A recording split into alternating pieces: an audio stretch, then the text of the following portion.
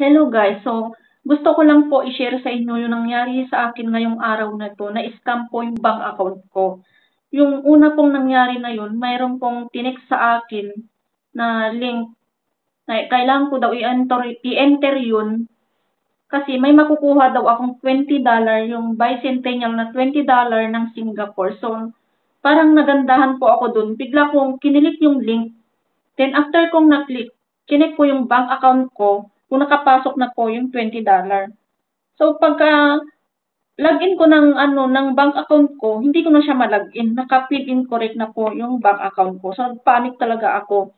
Agad akong pumunta ng bank, ng DBS Bank or POSB Bank. So, nagawa naman nila ng paraan yun. Pinagsabihan ako na kahit anong link, hindi daw pwedeng i-enter kasi mga modus lang pala yun, scam lang pala yun. So, isang malaking uh, lesson learned sa akin yung nangyari ngayong araw kasi as in kinabahan ako, syempre. Ano yun, uh, salary ko, nandun, yung, may pera din ako dun.